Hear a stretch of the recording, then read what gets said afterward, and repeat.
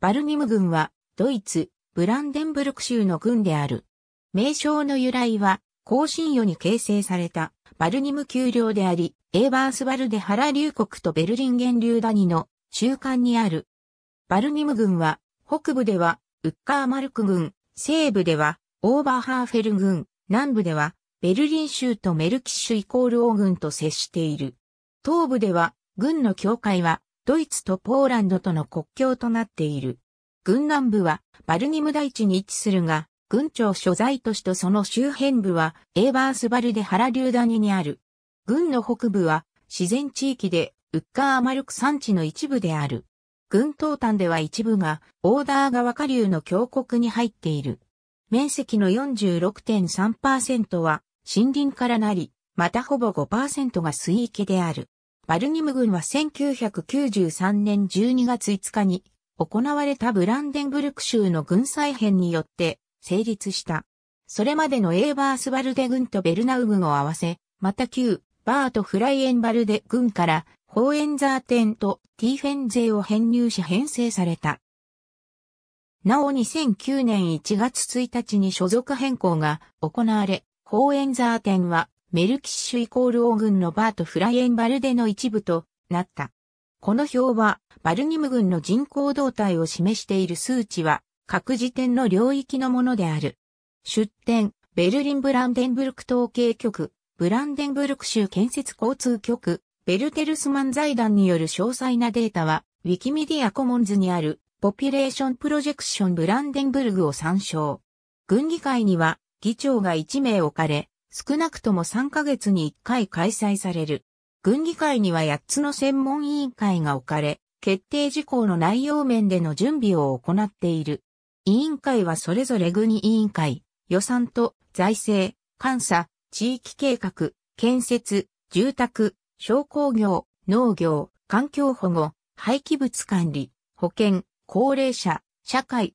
教育文化、青少年支援を担当している。軍内には、ブランデンブルク土壌保全局、下級水道局、下級廃棄物管理局が置かれ、州環境省から委任された担当者が、地域の水、森林、草原にかかる、あらゆる問い合わせや申請を受け付けている。また、エーバースバルデには、ブランデンブルク州中央公文書館の司書が置かれている。紋章は1995年10月17日に承認された。紋章記述、金と赤で4つに区分けされる。和紙は交互に色分けされ、飛び立つ姿と金色のくちばしと爪がある。翼の上の金色のクローバーの茎がつく。同軍のアムと都市、自治体の紋章は、バルニム軍の紋章一覧を参照。同軍の経済は、農業、手工業を含む製造業、観光、サービス、エネルギー、健康が主なものである。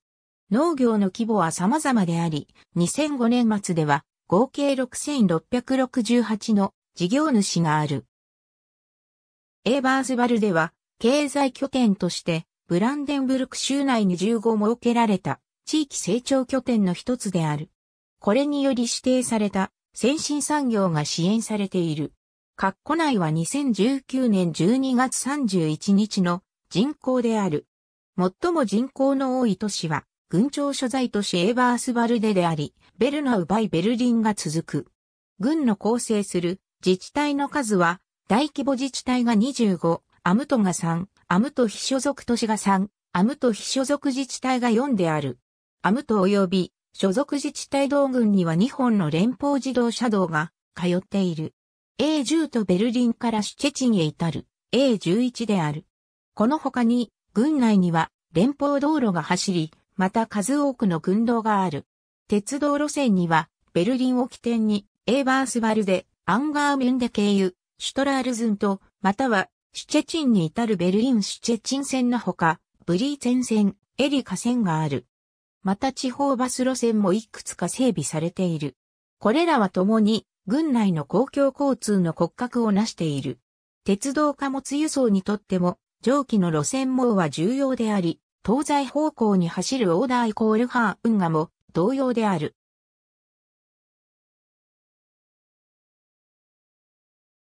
バンドリッツの風力タービン2008年8月以来、バルニム軍は軍議会の決議にのっとり、ゼロエミッション戦略を実施している。目的は EU とドイツ連邦政府が定める気候保護の要件を2011年までに前倒しで達成することであった。パイロットプロジェクトは連邦政府の気候保護イニシアティブの支援を受けている。2011年までに熱需要の14%を再生可能エネルギーで賄うという目標は2008年末までに半分が達成された。2011年までに気候に悪影響を及ぼす CO2 の排出量を1990年に比べて20%削減するという目標は2008年には17%を達成し、目標まであとわずかである。エネルギー戦略では電力供給に占める再生可能エネルギーの割合を30%に引き上げるとしていたが、すでに40%を超えている。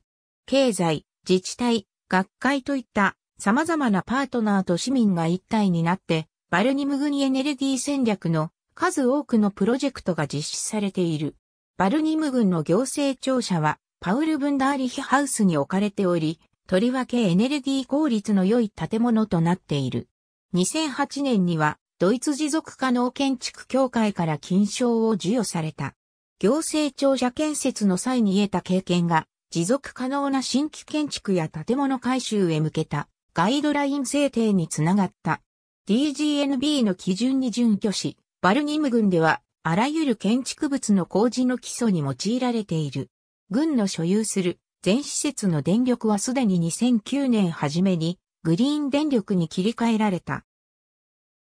ゼロエミッション戦略を実施していく中で新たな中期、目標は学校のプロジェクトモジュールの制定である。これはバルニムの学校における再生可能エネルギー、気候及び環境保護への取り組みといい、柔軟にこれらの科目の授業に組み入れることが可能である。バルニム郡には数々の再生可能エネルギーシステムがあるが、これに加えてエネルギー村がある。ブロードビーンでは今後数年間でエネルギー供給の全量を再生可能エネルギーに切り替え、電力と熱エネルギーを自前で供給するべく取り組みが続けられている。また、電気自動車の分野でも第一歩を踏み出している。公共の充電ステーションの開設後、軍の車両部では電気自動車を1台導入した。1994年1月1日に軍にはバーの略号が割り当てられ、使用されてきた。2013年3月19日以来、加えてバー及び E の利用が可能となっている。ありがとうございます。